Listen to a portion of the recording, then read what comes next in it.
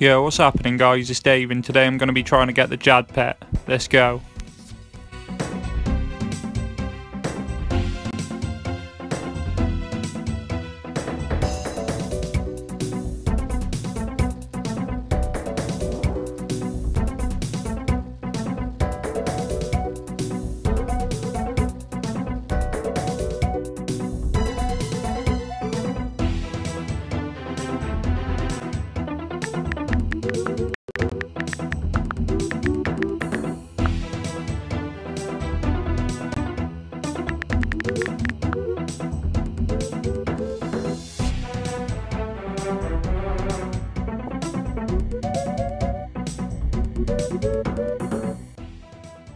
And I get it first try with only 1 in 200 chance. Nice.